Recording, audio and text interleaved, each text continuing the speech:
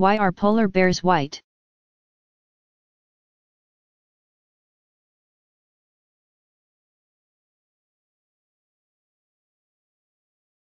The polar bear lives in the Arctic, the region of the North Pole. Most of its environment is barren, covered year-round with ice and snow and not much else. A polar bear might eat what few plants it can find. But it feeds mostly on water animals like seals and small walruses, which share its frozen home. The polar bear's yellowish-white coat helps it blend into its snowy surroundings as it hunts its prey. After all, there is not much in the Arctic to hide behind. The fur of a polar bear is also extremely thick. Allowing it to withstand polar temperatures and swim in Arctic waters, where its prey is often found.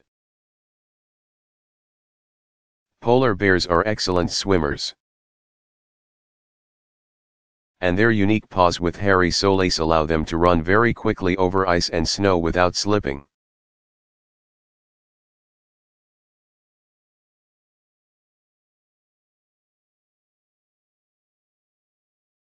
Do people use more muscles when they smile, or when they frown?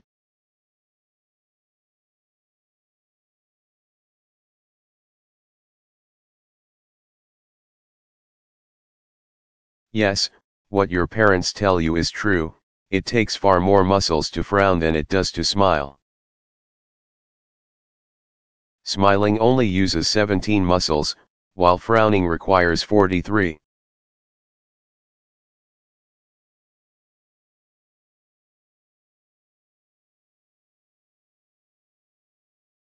What makes a shadow?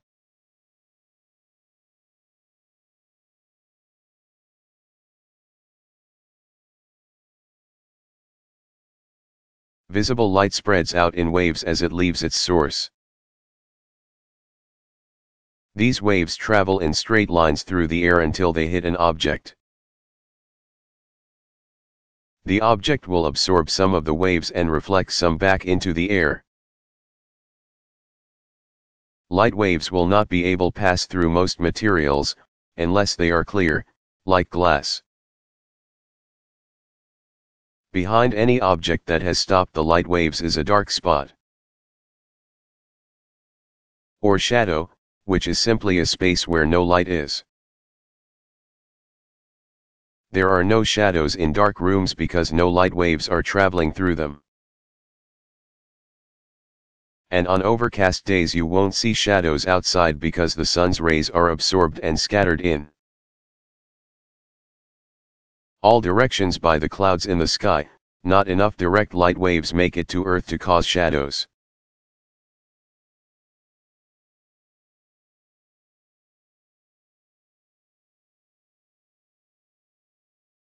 What causes the seasons?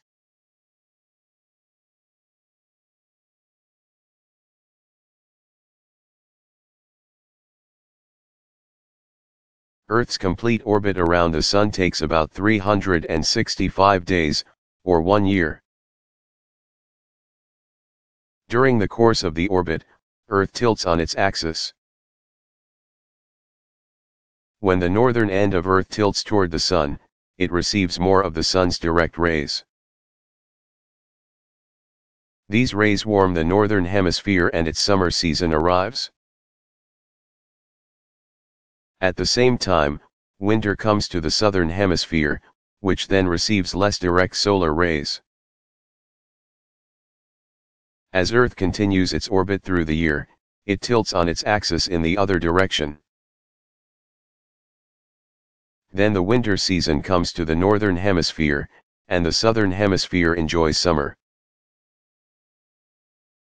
This tilt of Earth also explains why the length of days varies throughout the year. In the summer, more direct solar rays give us longer days.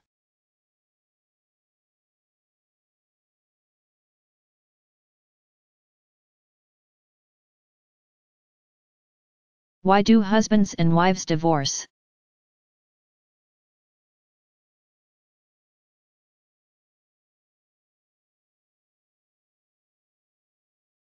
Husbands and wives divorce when they can no longer live happily together. It is usually a sad thing.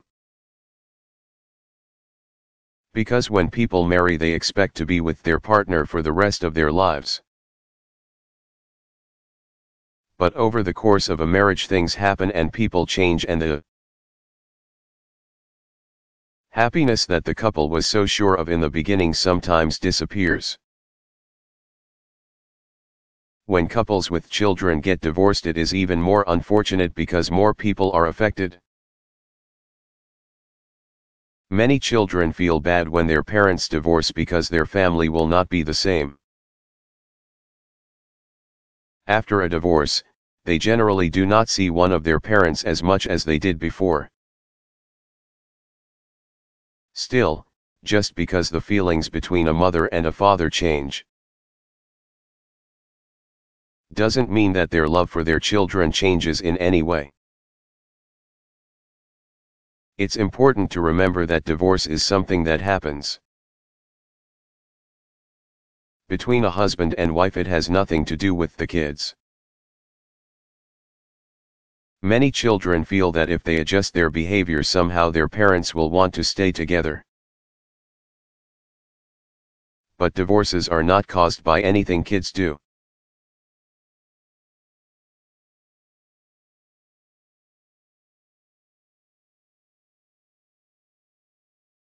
Why does your shadow change shape during a sunny day?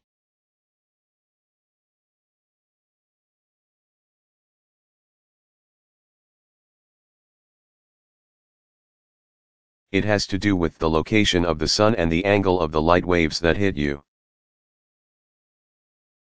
When the sun is high in the sky, the angle of its light waves in relation to you produce a short, squat shadow. When the sun is low in the sky, early or late in the day, it produces a long, giant-sized shadow. One way to think about this concept is to pretend you could draw a line from the sun that schemes the top of your head and ends on the ground behind you. When the sun is right above you, that line will end very close to your body, and so will your shadow.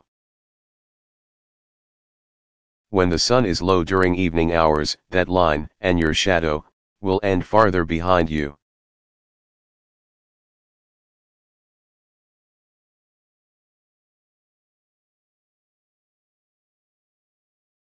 How do you know when to keep a secret and when to tell?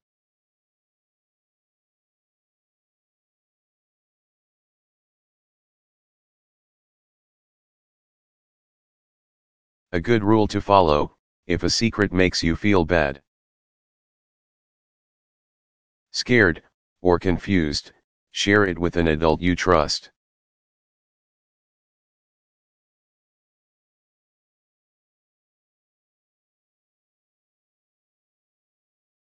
What is a best friend?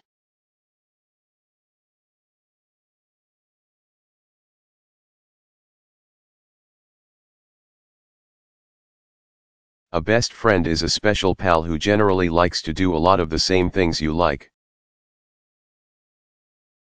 You tend to have more fun with your best friend than with other friends.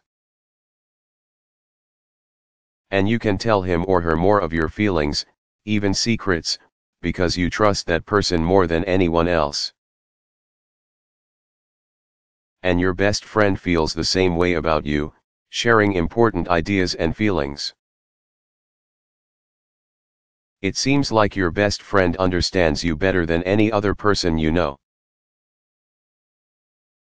You care about each other a great deal. You share your good times and bad times with a best friend, and that person does the same with you.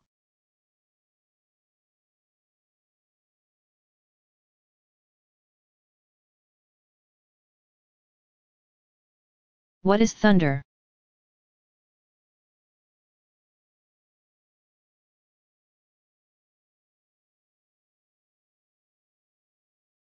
Thunder is the sound made by the gases in the air around lightning. which are quickly heated and expand when a strike occurs. Put simply, thunder is the sound of hot air exploding.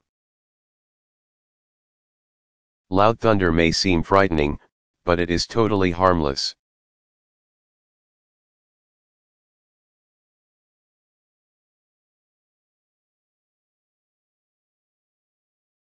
What is a disability?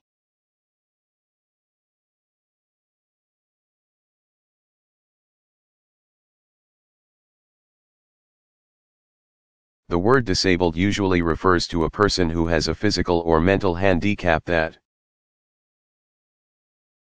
keeps him or her from doing certain tasks or makes performing them unusually difficult.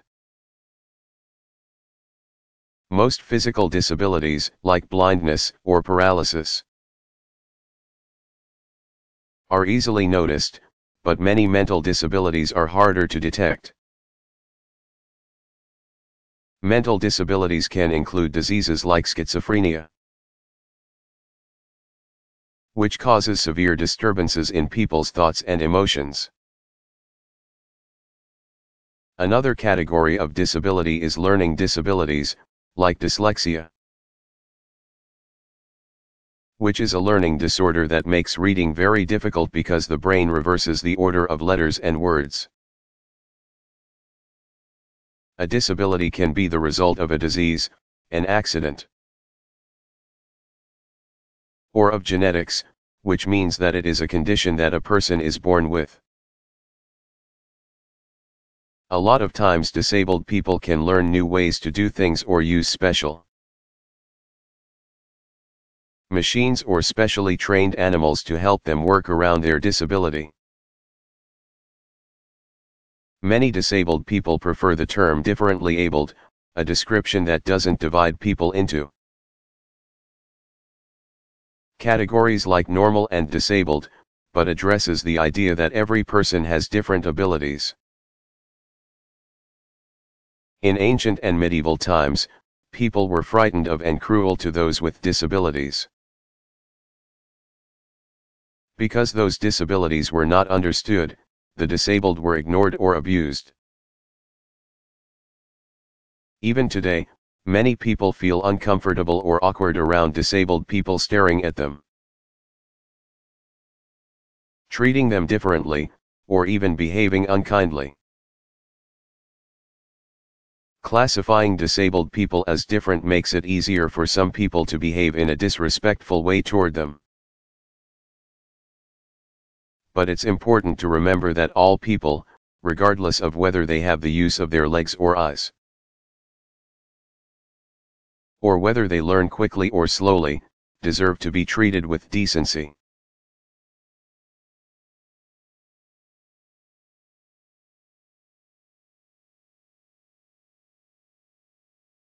What should I do when I meet a stranger?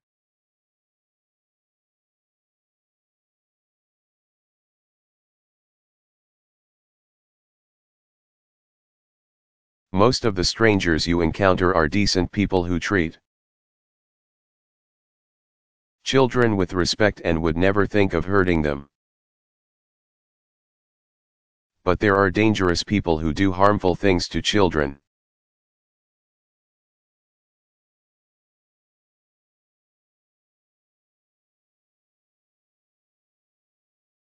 How do rockets blast off?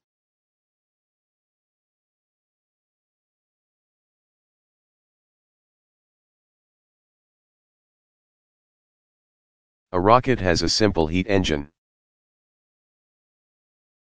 It uses quick burning fuels, known as propellants.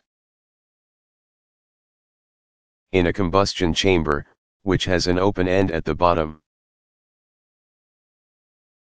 The hot gases produced from the burning fuel expand and push in all directions. But they can escape only at the open end, and they do so with great speed and force.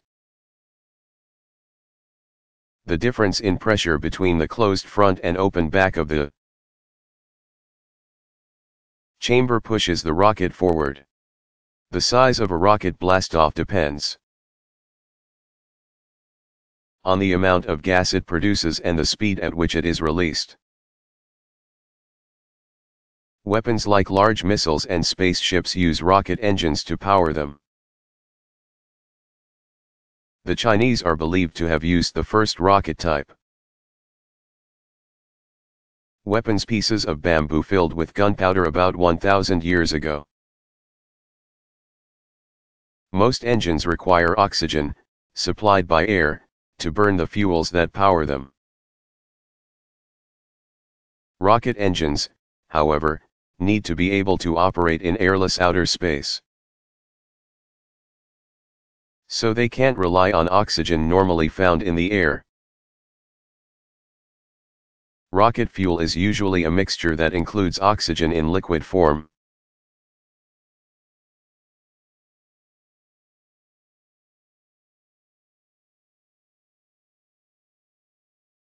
How big were the largest dinosaurs?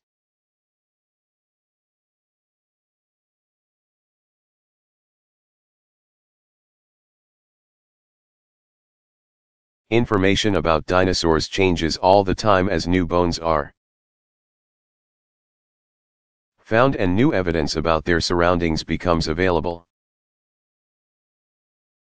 Each year, scientists discover around seven new types of dinosaurs. The dinosaur now considered the largest could be pushed out of first place by another creature soon to be discovered. The largest dinosaurs belong to the group called sauropods. These giant plant eaters include the Apatosaurus, pronounced Apata Sawrus. Used to be called Brontosaurus, and Brachiosaurus, pronounced Brachiosawrus. Which weighed around 80 tons, that's 160,000 pounds, or 72,640 kilograms, and stood 50 feet, 15 meters, tall. Among the longest of these dinosaurs were the Seismosaurus, pronounced Syzmosaurus, and Supersaurus. The Seismosaurus may have been as long as 150 feet, 45 meters while the Supersaurus may have stretched to nearly 100 feet, 30 meters. A newly discovered dinosaur, called Paralititan, is thought to have been close to 100 feet. 30 meters, long, weighing close to 70 tons, 140,000 pounds, or 63,560 kilograms. The upper bone of its forelimb, front leg, is 6 feet, 7 inches long, close to 2 meters. The Argentinosaurus, thought to weigh as much as 100 tons, 200,000 pounds, or 90,800 kilograms. Was uncovered in the late 1990s in Argentina, which was home to many of the world's largest dinosaurs. These gentle giants were once thought to live in watery, swampy regions. But recent evidence suggests that most of them were forest dwellers who ate leaves from the tops of trees. They had enormous bodies, very long necks, relatively small heads, and thick, tree trunk-like legs, much like an elephant's legs. They moved very slowly and didn't have many ways to defend themselves. But their tremendous size kept most predators away.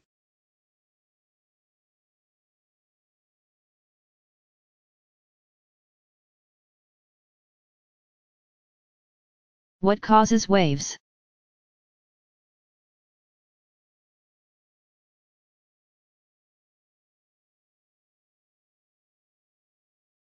The wind blowing across water causes most waves. The size of a wave depends on the strength of the wind. How long it blows, and the distance over which it travels. Strong winds and great distances create big waves. Waves occur when the wind forces the surface of water up as it tries to pull it along. And gravity pulls it back down again. These push and pull forces cause the up and down movement of waves. The tops of waves are known as crests, and their bottoms are called troughs. Although wavy water looks like it's traveling along, it really doesn't move much, other than up and down. The water droplets that make up that wave travel in a kind of circle, propelled by the energy of the wind. With the top of the circle being the crest of the wave. A seagull floating in the water.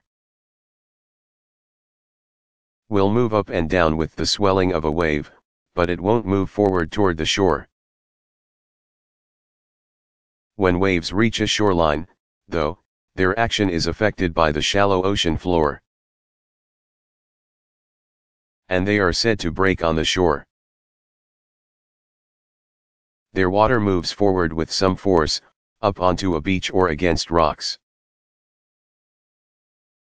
Wave crests that break into white foam are called whitecaps.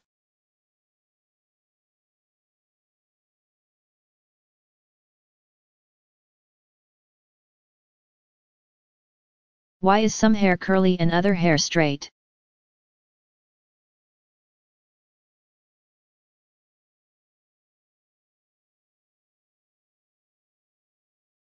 Hair grows from tiny holes in the skin called follicles. Follicles can have different shapes and sizes. Hair type is determined by the shape and size of the follicles from which they grow. Large follicles mean you'll have thick hair, while narrow follicles result in fine hair. Straight hair comes from round follicles, wavy hair from those that are oval. And curly hair grows from follicles that look like flattened ovals.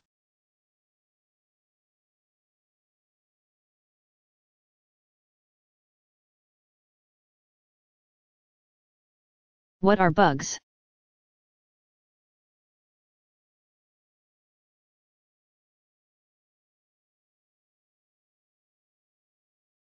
Most people use the word bug when talking about insects like beetles, bees, and butterflies.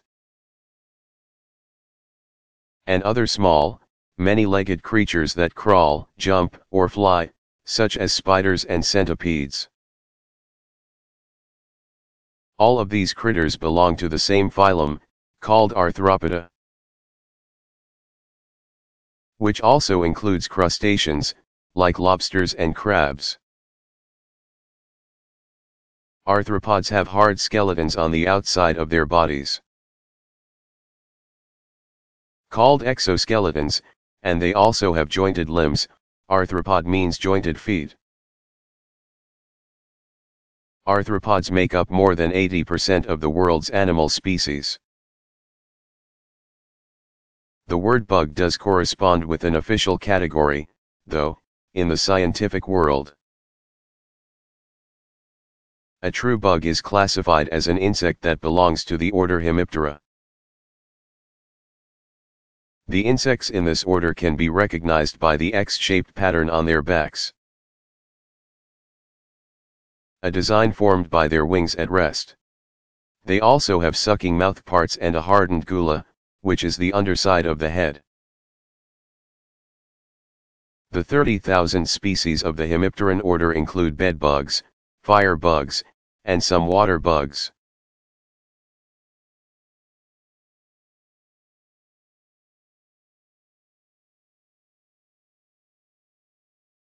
How can I get a bigger allowance?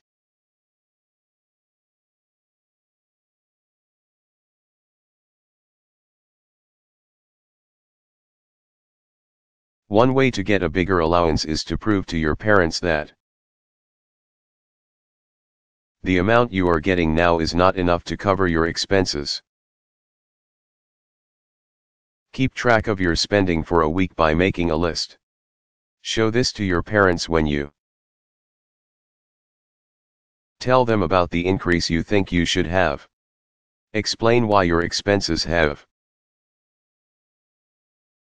changed that the price of movie tickets has gone up at your neighborhood theater, for example. If you want to save money to buy something expensive, tell them that, too. Or maybe you feel that you have grown old enough to handle more of your own expenses. Like buying your own clothes. Whatever your reasons for needing a bigger allowance, present them as clearly and calmly as you can. Give your parents time to think it over and you might have good results.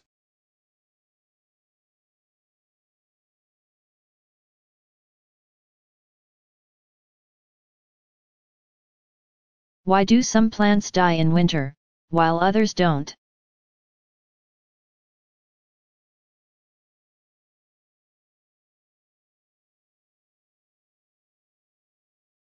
Plants that grow in temperate zones, where there are changes of seasons.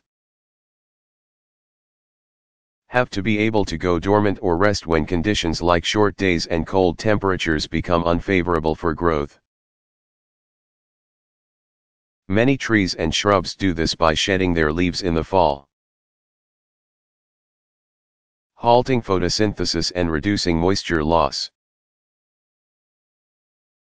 A great number of flowering plants, known as herbaceous perennials. Die down to ground level, sheltering new buds in the ground until spring arrives.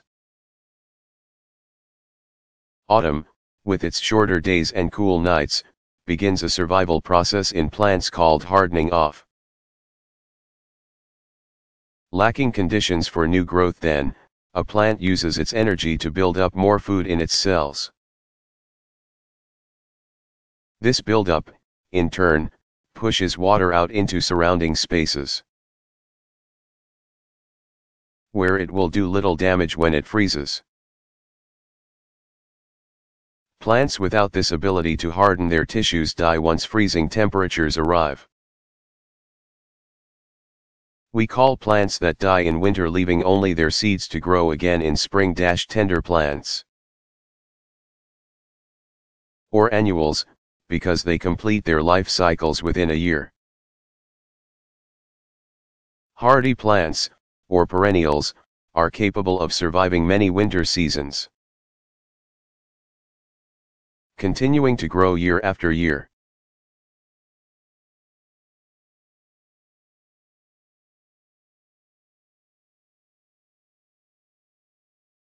What is the moon?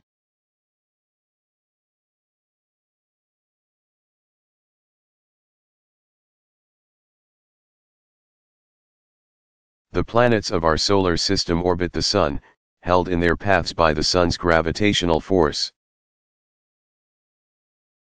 Other heavenly bodies in our solar system called natural satellites or moons orbit the planets in a similar way. Some planets have many moons, Saturn has 18, but Earth has just one. Our moon is an almost round natural satellite that consists of layers of different rock.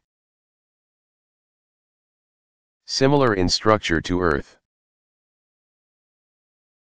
It is believed that both were created at the same time, when our solar system was formed.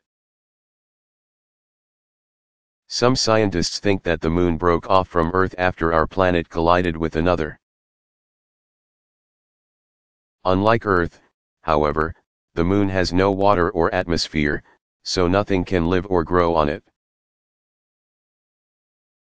Without an atmosphere, nights, where the moon is turned away from the sun,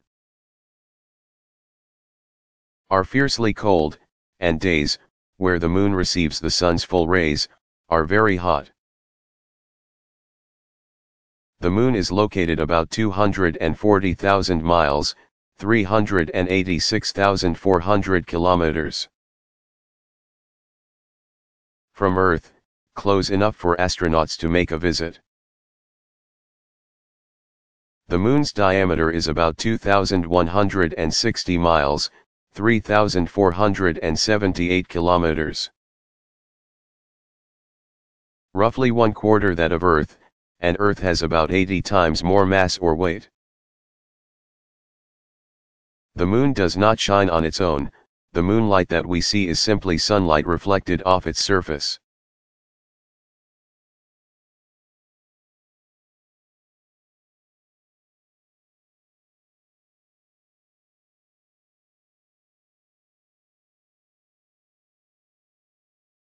Why are some animals active only at night?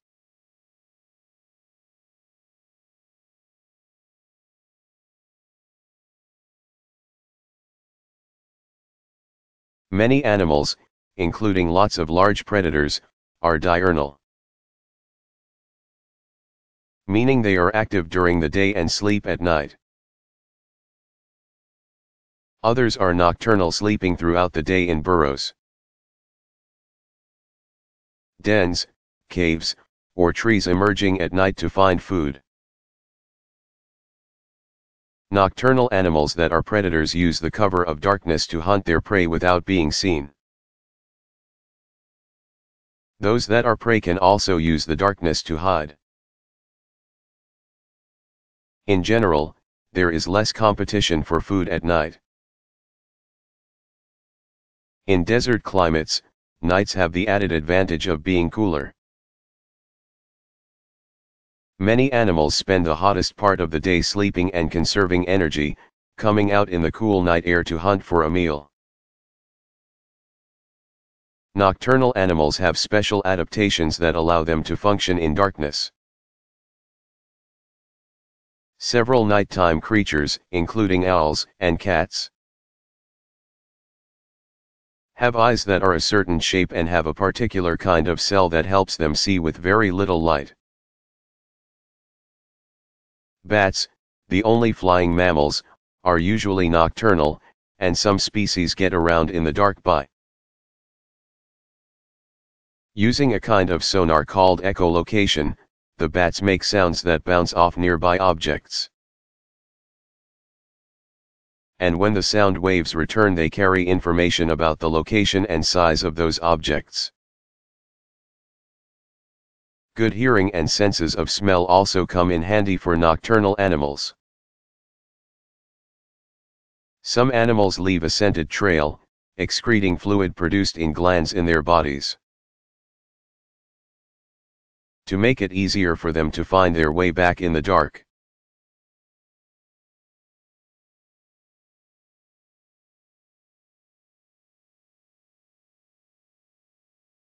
What are invertebrates? It may seem that most of the world's animals are vertebrates what's left after mammals. Birds, reptiles, amphibians, and fish. In fact, invertebrates make up more than 90% of the world's living animals. Any animal that lacks a backbone is an invertebrate.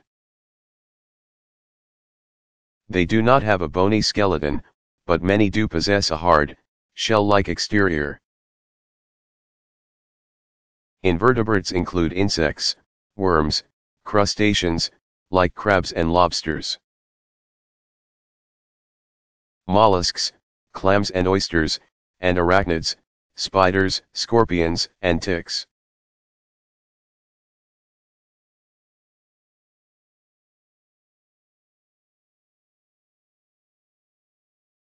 Why do I have to be a good sport when I lose a game?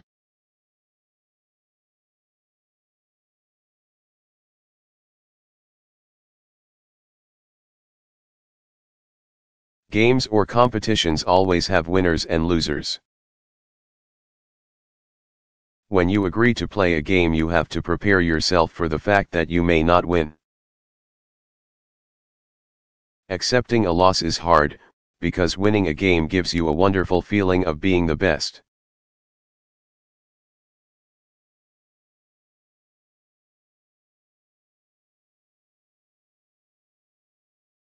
What is an asteroid?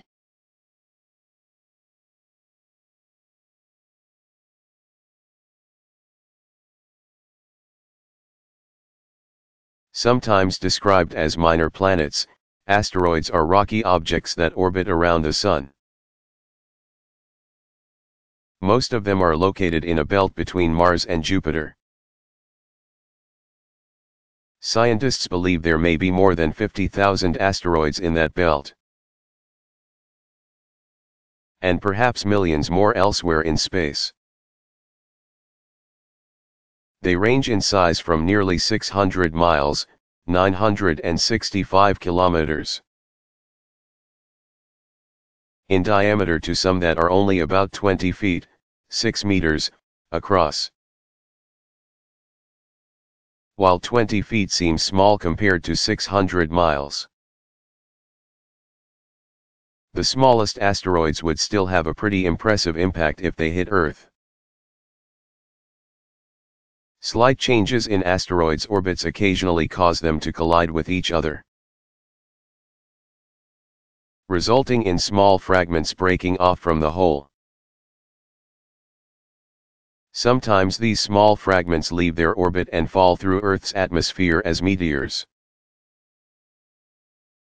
Called meteorites if they hit the planet's surface.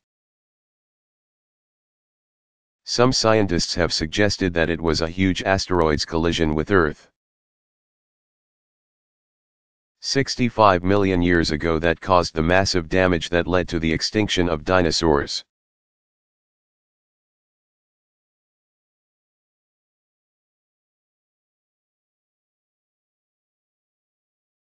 What is a cocoon?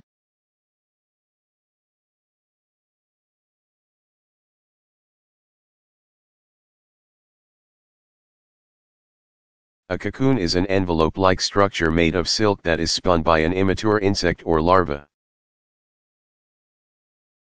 It is a protective covering in which the larva passes through.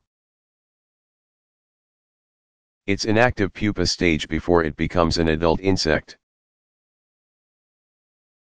These cocoons are often attached to branches or twigs. Caterpillars are the larvae that eventually change, or metamorphose, into butterflies and moths. Only a few types of butterfly caterpillars spin cocoons. A butterfly's cocoon is called a chrysalis, while the caterpillars of many moths do. The cocoon of the silkworm, caterpillar of the silk moth. Is collected and processed and woven into the beautiful cloth we know as silk.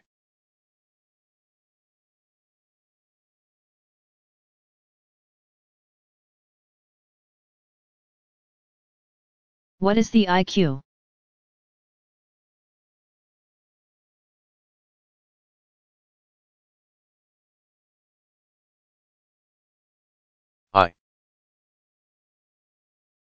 Q stands for intelligence quotient.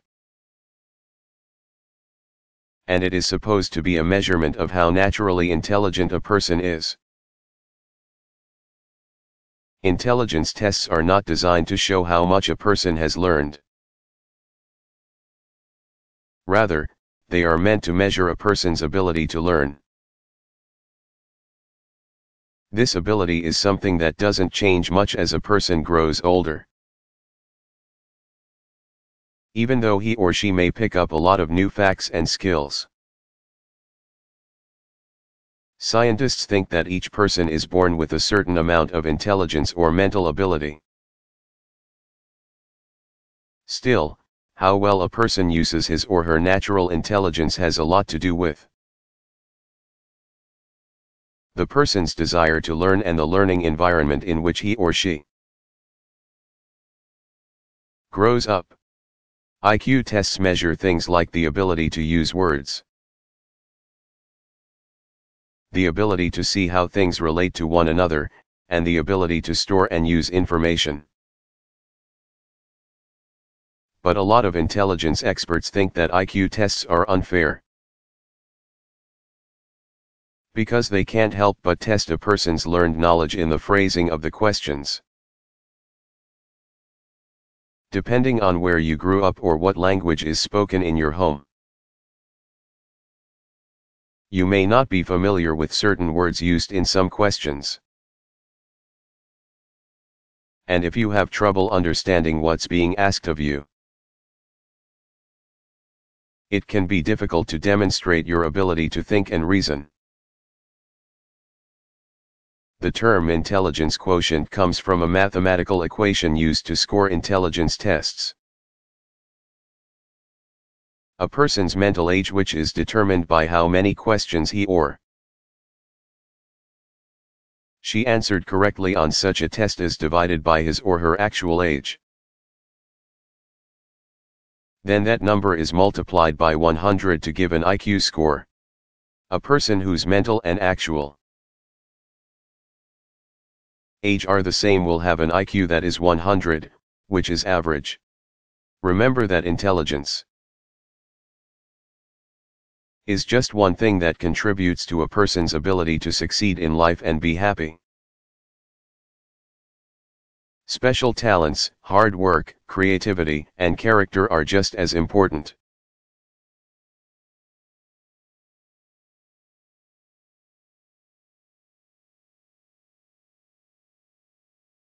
What are chimneys for?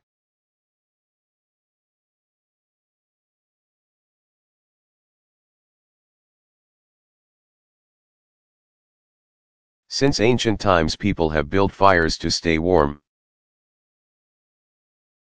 When fires were built in small dwellings, an opening was needed through which smoke and other byproducts of burning like the dangerous gas carbon monoxide could escape. In places where houses were made of combustible, or easily burned, materials like wood and thatch, dried grasses, fires had to be built outside to protect such dwellings from going up in flames. But even under those circumstances, people eventually figured out a way to make indoor fires safely. They built stone hearths in the middle of their houses. Well away from walls, and made holes in their roofs so that smoke could escape. These hearths came to be located in more convenient places once people learned how to build stone. Fireplaces topped with stone chimneys that channeled smoke safely out of dwellings, high above their roofs. Stone fireplaces could be safely built into the walls of any type of shelter. While our houses are now usually kept warm by central heating systems. We still build fires in fireplaces for temporary warmth and for their beauty and the cozy feeling they give. Stone or brick hearths and chimneys are still needed to protect house walls and roofs from fire. Even houses without fireplaces have chimneys because most furnaces make heat by burning fuel. The poisonous byproducts of this combustion usually flow out of a house by way of a chimney. Keeping the air indoors healthy and safe to breathe.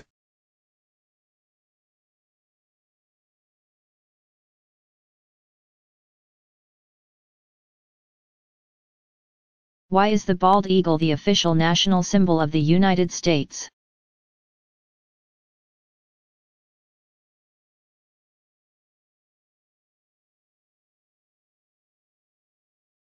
In 1782, six years after the end of the Revolutionary War, leaders of the newly independent United States were designing a national seal, an image that would appear on official documents and elsewhere. Eventually these men settled on the bald eagle for the Great Seal of the United States. The bald eagle was chosen in part because it was believed to be found only in North America. The bald eagle was also admired for its strength. Its noble appearance, and the freedom of its life spent soaring through the sky. While the eagle became an important American symbol when it was adopted for the U.S. seal in 1782. It wasn't until 1787 that it officially became the national emblem. The bald eagle has been used for the official seals of many states. And it has appeared on stamps, currency, or paper money, and several coins, including the quarter. The bald eagle's head is covered with white feathers.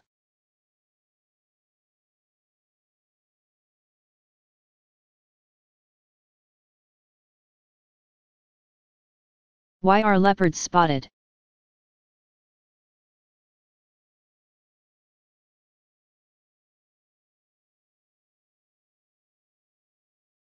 Like the fur of many animals, the leopard's coat is a form of camouflage.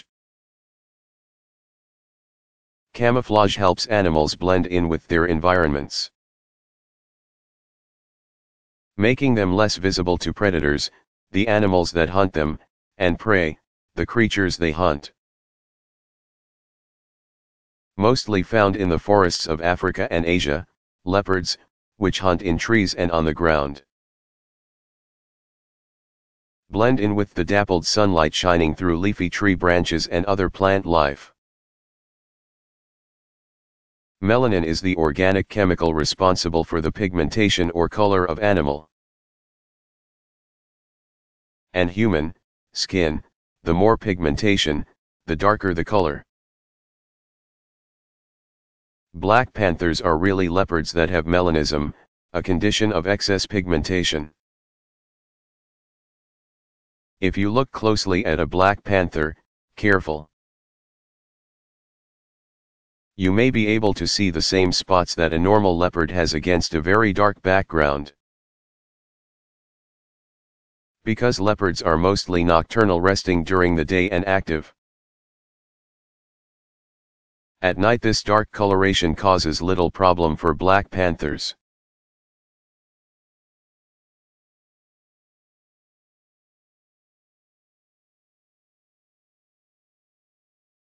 Can some animals grow a new limb after one has been cut off?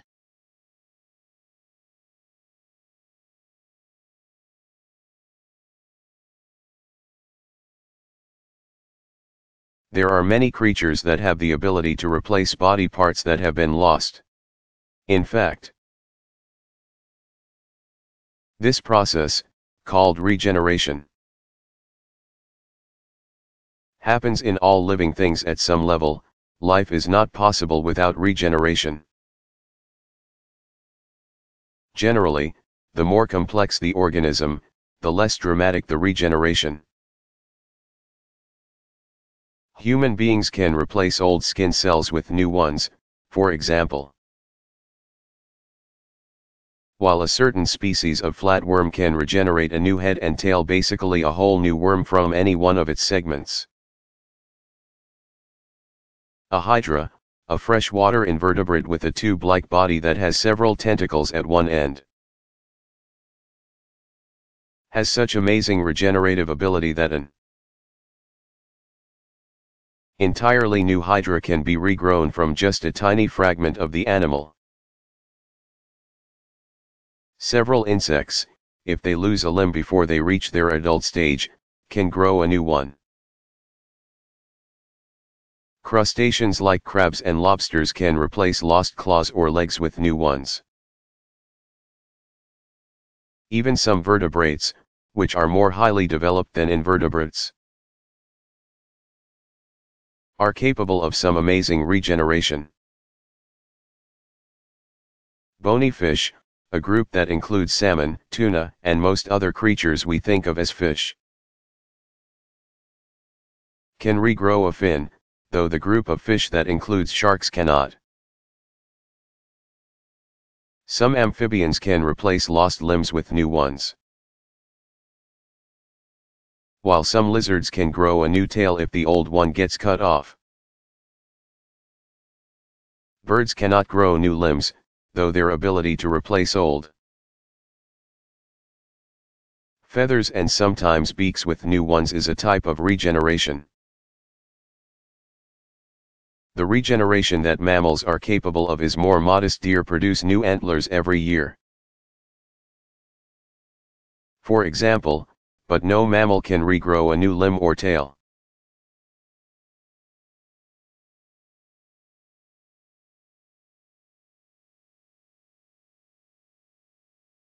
What could it be, then?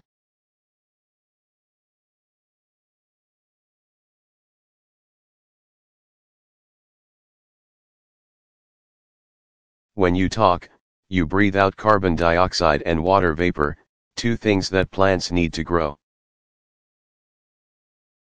And sound waves from your voice cause plant cells to vibrate. Experiments have shown that certain types and strengths of sound can cause plants to grow better or worse than usual. Plants exposed to classical music, for instance, grew thick, healthy leaves and developed good roots. Jazz had the same beneficial effect. Plants exposed to country music had normal growth. But those that were exposed to rock music did very poorly. Their root development was so terrible that the plants began to die.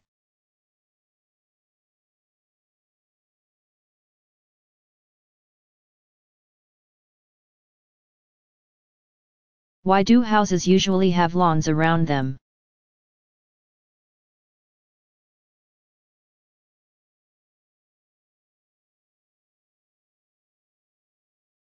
Houses have lawns around them for several reasons. The stretches of green grass look pretty, and they are good. Safe places for children to play when they are outside. Also, lawns frequently mark the boundaries that separate one person's property from another. Long ago, only the rich could afford to have lawns. Other people had to use all of their land to raise crops so that they had enough to eat. So a lawn became a status symbol, a sign to others that its owner had enough wealth to waste a portion of his or her land on grass which was merely pretty, not producing anything that could be eaten or sold. That way of thinking may still be at work today, the average American lawn could produce about 2. $000 worth of fruits and vegetables if it were planted. But instead of using land as a way to save money, American homeowners do exactly the opposite spending several hundred dollars and countless hours each year on maintaining their lawns. Many people value the beauty of a well cared for lawn, however. Admiring the effect of a homeowner's hard work. Dr. John Falk, who works for the Smithsonian Institution in Washington, D.C., has conducted studies to prove his own interesting theory about why people like lawns. He thinks that because most of our history as humans was spent on the grassy savannas. Large grassy areas with few trees, of East Africa, our desire to live around lawns is biological. Or passed on through our genes from our prehistoric beginnings. Falk thinks that people naturally prefer the familiarity and safety. Because the approach of predators can be seen, of flat, grassy land over any other kind of environment. And his experiments seem to prove the theory true, Falk showed people from all over the world. Pictures of different terrains desert, rainforest, coniferous, evergreen, forest, deciduous, leaf shedding.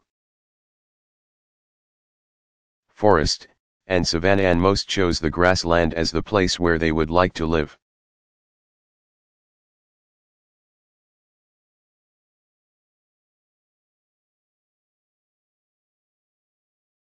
What is puberty?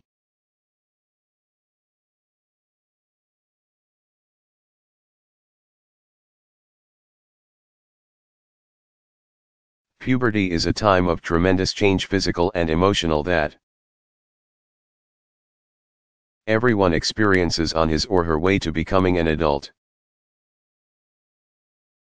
After the many changes of puberty, people are physically able to reproduce, or have children. Though it takes many more years to develop the emotional maturity required for such a decision. While there are many common elements, every person experiences puberty a little bit differently. And kids go through the changes of puberty at all different paces. Some develop early. Others late. Girls experience different changes than boys. Puberty can be exciting, but it can also be confusing, scary, and lonely. The changes associated with puberty are triggered by the release of certain hormones. Primarily estrogen for girls and testosterone for boys, that signal the body to grow and change. Puberty usually starts between the ages of 8 and 13 for girls and between 10 and 15 for boys. Though it's normal for some kids to develop later. During puberty kids' bodies will not only grow taller, they will also change their basic shapes. Hair that was formerly soft and downy in places like the armpits,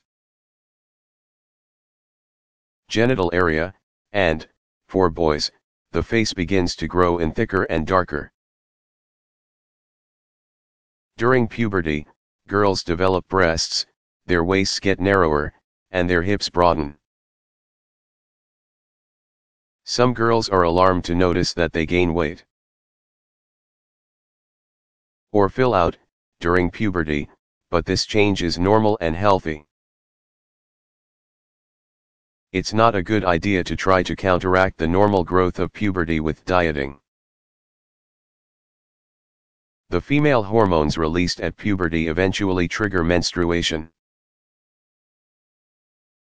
During each menstrual cycle, which is usually about a month long. An egg is released from one of two ovaries in a girl or woman's body. If the egg were fertilized by sperm, it would implant in the uterus or womb, and eventually grow into a baby. The uterus prepares for pregnancy each cycle by creating a lining of extra tissue and blood that would nourish a growing fetus. If the egg is unfertilized, that lining is expelled through the vagina. A missed period could be a normal occurrence.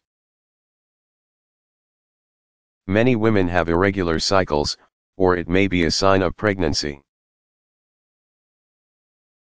Boys' bodies change in different ways during puberty, they get broader shoulders more developed muscles, and larger penises and testes. Their faces change to look more adult, and their voices deepen as well. Kids going through puberty often notice emotional changes that accompany the physical transformation. Part of the emotional roller coaster of puberty comes from the hormones coursing through your body and part of it is just confusion and fear about changing from a kid to an adult.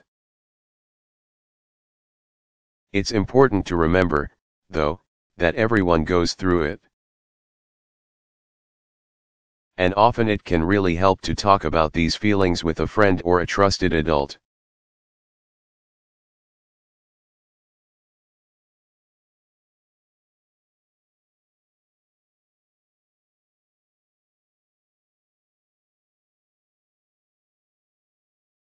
Why are there deserts?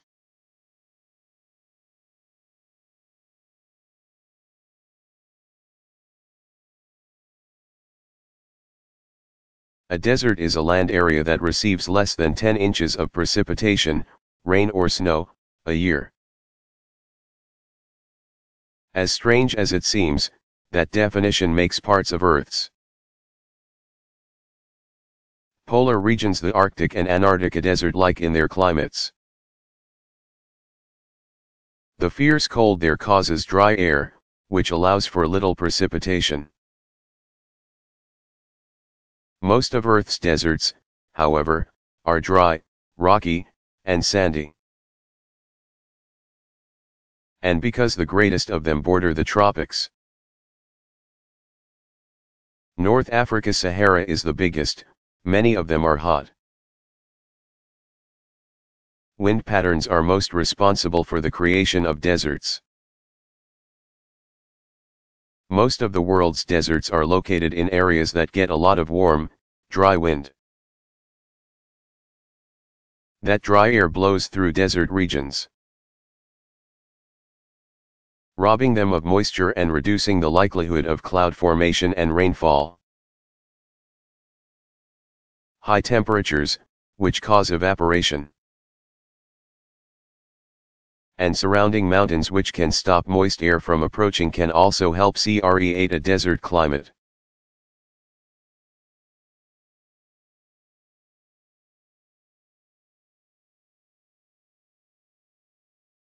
Why do I poop?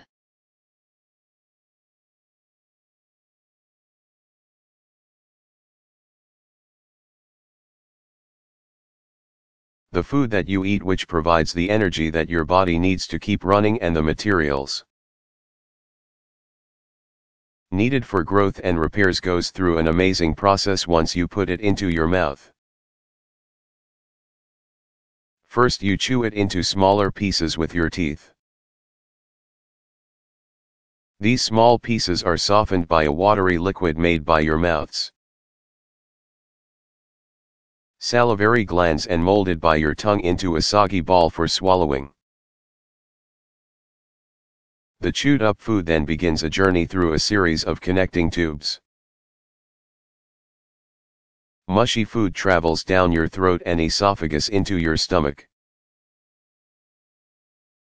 Powerful muscles in the stomach wall crush it even further and along with strong digestive chemicals made there turn it into a thick soup. Then it goes to your small intestines, where its nutrients pass through thin walls into your bloodstream and are delivered to cells throughout your body. Following that, the leftovers of your food what your body can't use or digest travel to your large intestines. Along with other waste products of the digestive process their moisture is removed and returned to your body, and what remains of your food becomes solid waste. This waste is stored in a large tube called the rectum. When the rectum gets full of solid waste, or feces, you get rid of it with a bowel movement through a small opening in your bottom called the anus.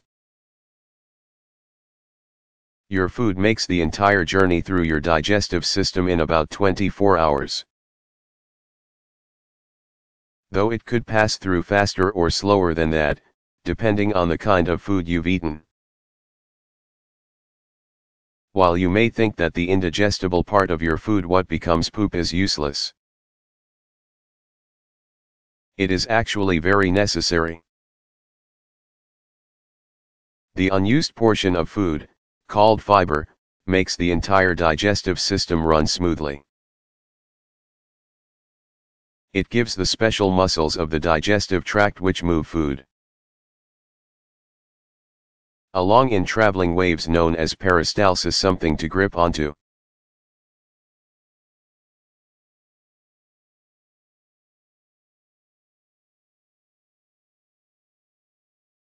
Why are the oceans blue?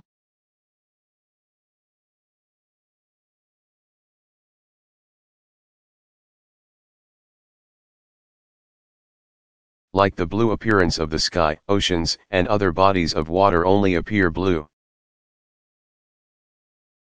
As you know if you've ever scooped some of that water into a clear container and seen that it isn't actually blue.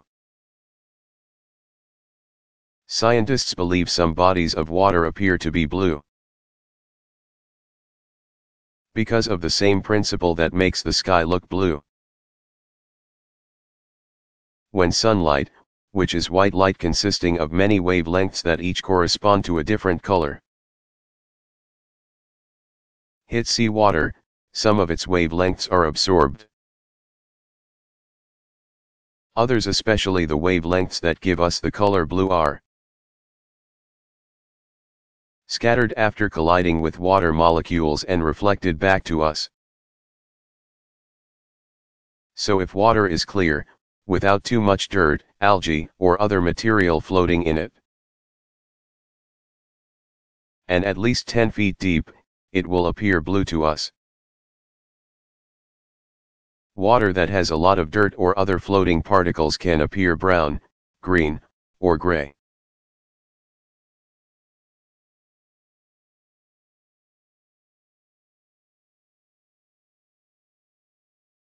How does a light bulb work?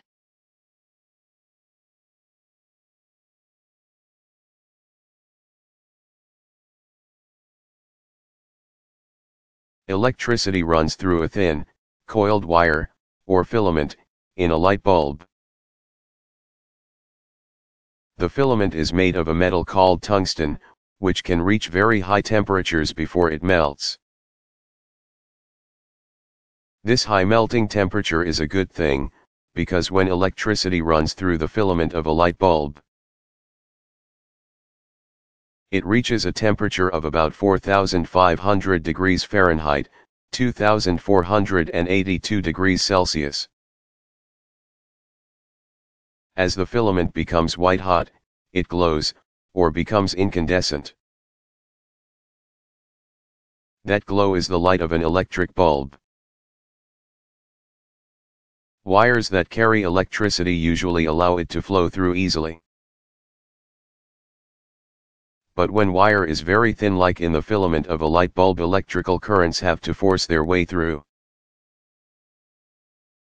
Causing friction, which causes heat, which, in this case, results in incandescence.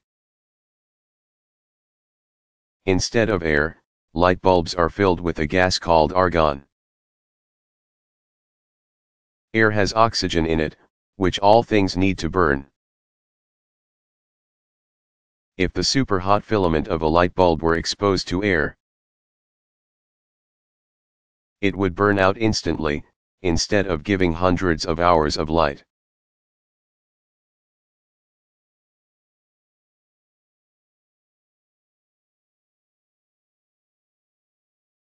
How do elevators work?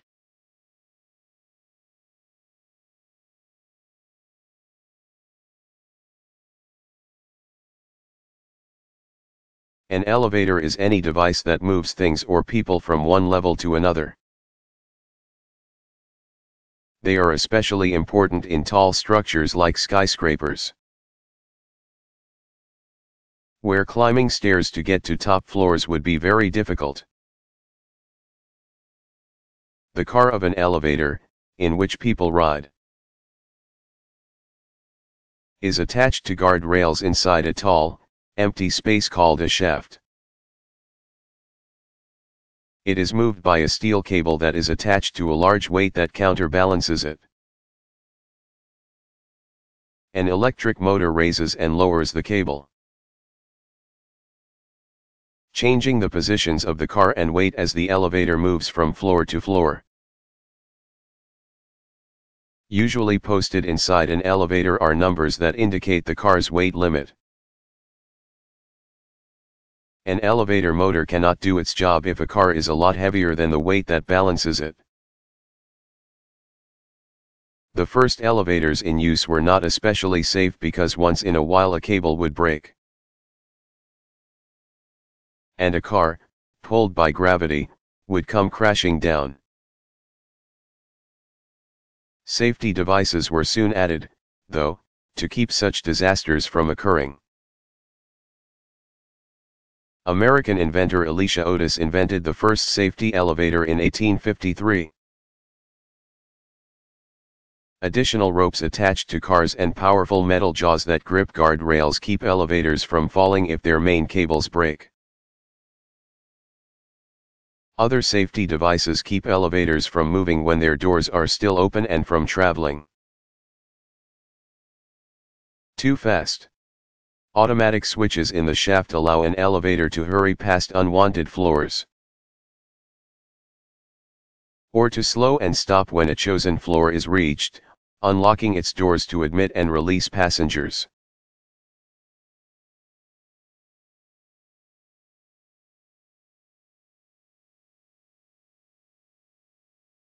Why was the Statue of Liberty built?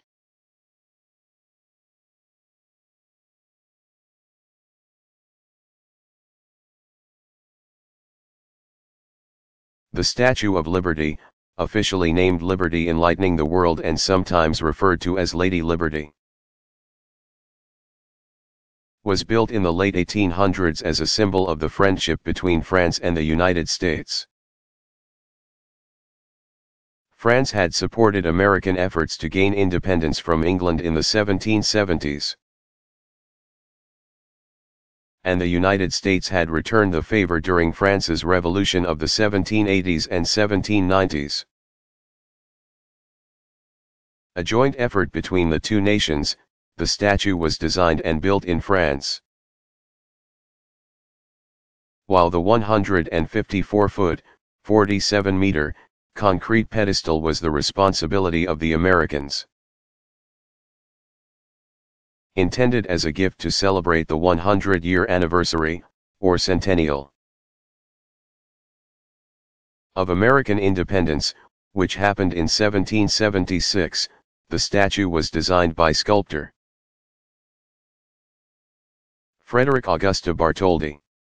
He had help from many engineers and designers, including Alexander Gustave Eiffel, the man who designed the Eiffel Tower in Paris, France. Lack of funds in both countries slowed down the construction of the statue. And it wasn't actually completed until 1884, eight years after the centennial. It took nearly a year for the statue, which was broken down and divided among more than 200 crates to travel across the Atlantic Ocean to the United States. And it was another whole year before the pedestal was completed. Finally, on October 28, 1886, the Statue of Liberty was officially dedicated in front of a crowd of thousands. Made of copper and steel, the statue, which depicts a woman who represents the concept of liberty. Stands just over 151 feet, 46 meters, tall, plus the height of the pedestal. To give an idea of just how big the statue is, bear in mind these statistics, her index finger is 8 feet. 2.4 meters, long, her nose is 4.5 feet, 1.4 meters, long, and the width of her mouth is 3 feet. 0.9 meters. Lady Liberty holds a torch in one hand, symbolizing enlightenment or freedom from ignorance. The other hand holds a plaque that bears the date of American independence, July 4, 1776.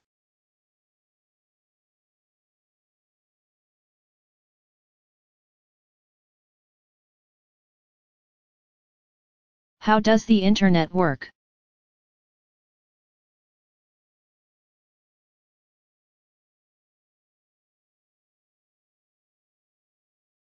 Just as telephones are connected by a worldwide phone system. Home and work computers can connect with a global computer communications network known as the Internet. Each computer that is linked to the system has its own Internet address, as individual as a phone number. Home computer users buy the services of an internet provider. which is an organization with powerful computers that link all its subscribers to the Internet. Many large organizations and companies have computers that link them directly to the network. Internet users can visit the World Wide Web, which is a global network of websites providing information, entertainment, products, and other services. People can use the internet to send electronic mail, known as email, to one another in just a few seconds. Once you type a message into your computer to send to your cousin. Let's say who lives miles from you across the country it travels through the wires of your phone line as a series of electrical signals. Or, for some people, the signals travel through the same cables that bring them cable television. These signals travel to a station run by your service provider. Where a big computer sends them to an internet routing center. Located all over the world, routing centers link to organizations and Internet providers send the countless computer communications that come to them each second along the quickest possible routes to their destinations. A giant computer there reads the address on your email and sends it farther.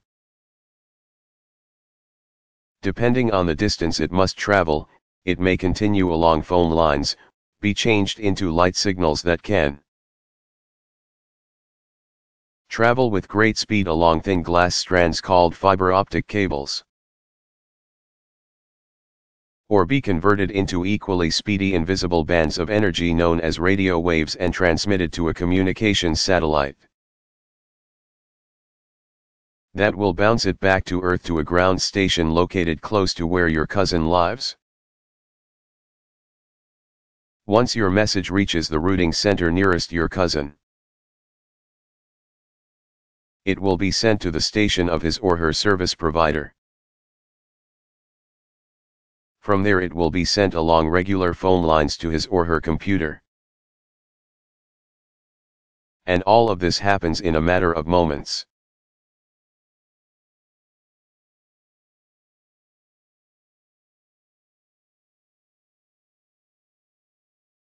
What causes diarrhea?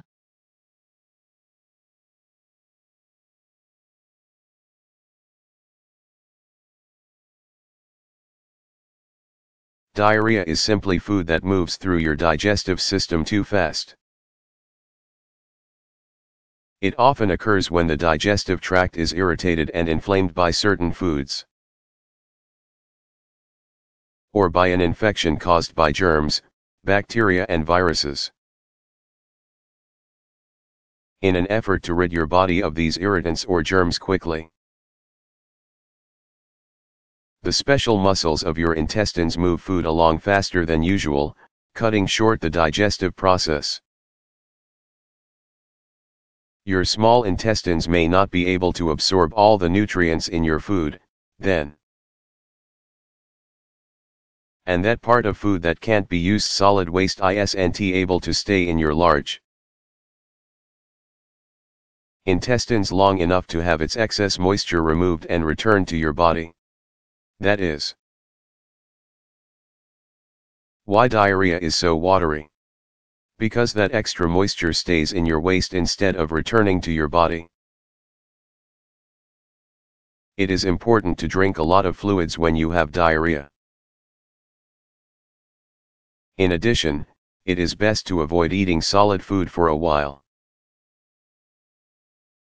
Which will help quiet the hyperactivity of the digestive system.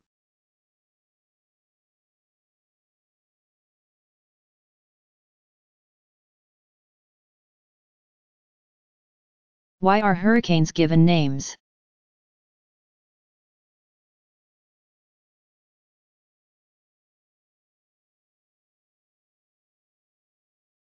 Tropical storms, including hurricanes, that have wind speeds of at least 39 miles. 63 kilometers, per hour are given human names to identify them. This way, meteorologists, or weather scientists, can keep track of several tropical storms at once without confusion. Monitoring tropical storms is important for the safety of ships that sail in tropical waters. And for people who live along tropical ocean coasts who need to be warned of approaching danger. The practice of naming hurricanes and tropical storms began in the 1950s. For a long time until 1979 only women's names were used.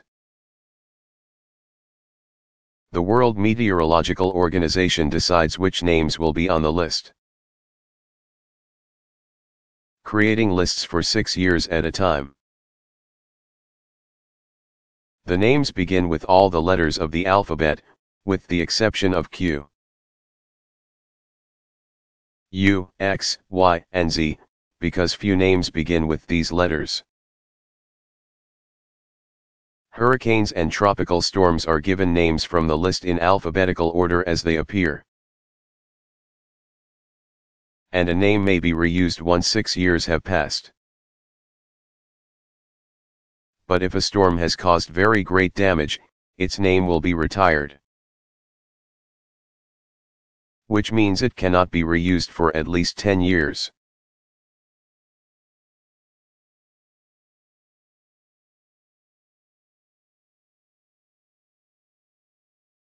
Why do I laugh when someone tickles me?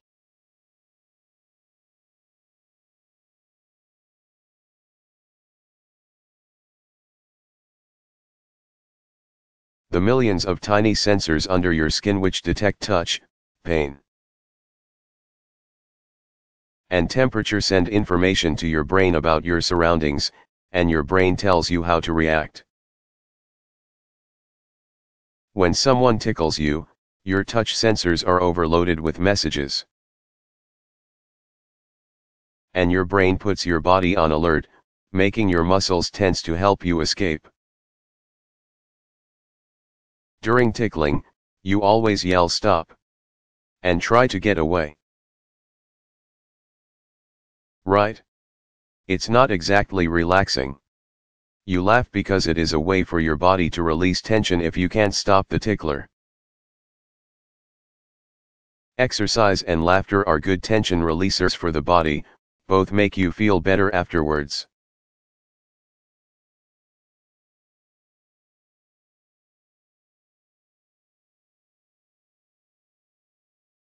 What is a lie?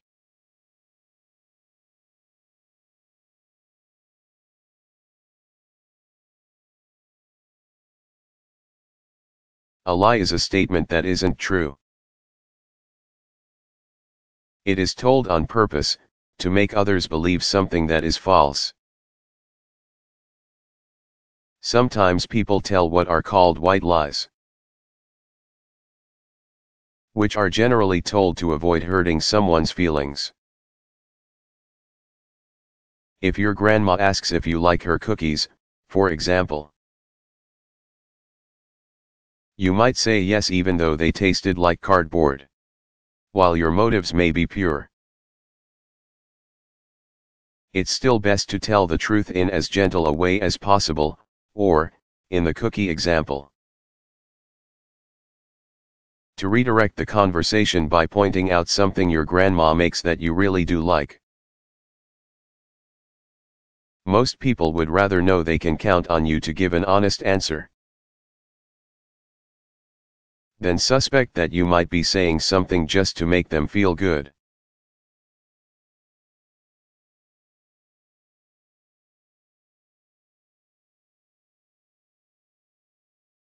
What kind of animal is a seahorse?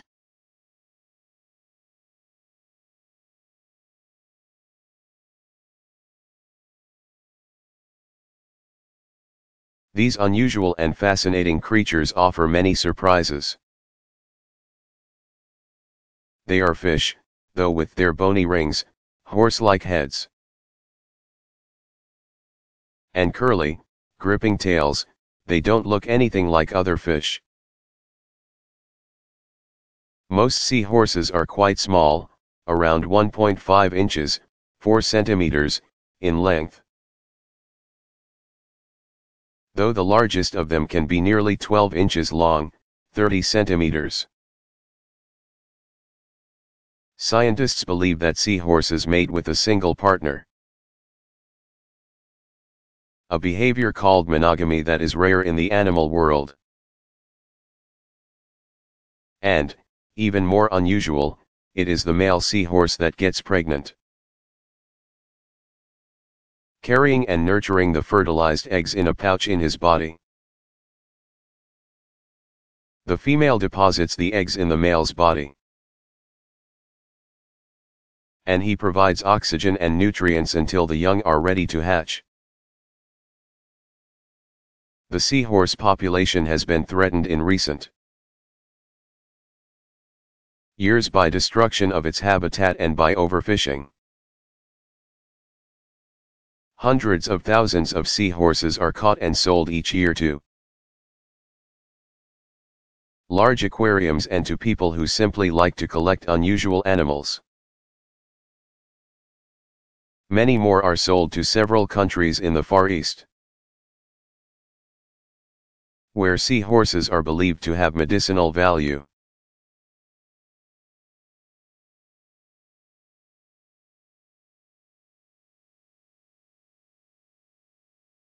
Why do birds sing?